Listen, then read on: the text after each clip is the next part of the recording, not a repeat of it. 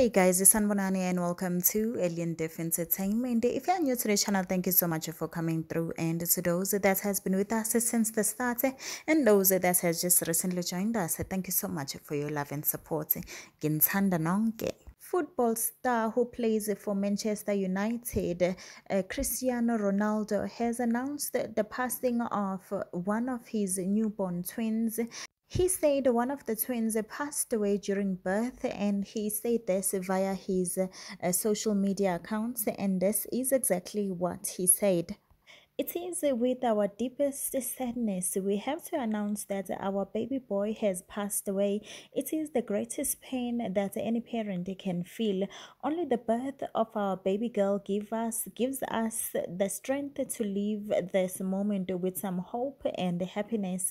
We would like to thank the doctors and nurses for all their expect uh, care and support. We are all devastated at this loss and we kindly ask for privacy at this very difficult time.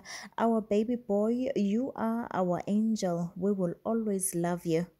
I cannot even begin to imagine what they're feeling right now, even though, like, I know the feeling of losing your kids just when they are born, especially twins.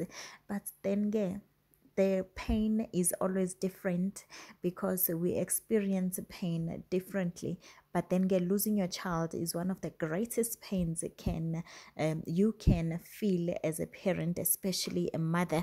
I don't know about a father but as a mother it's the greatest pain one can ever feel especially when you just have that one that you pray to god keeps but then get god in the end takes both of them away. But then get our experiences are different and we all experience pain differently.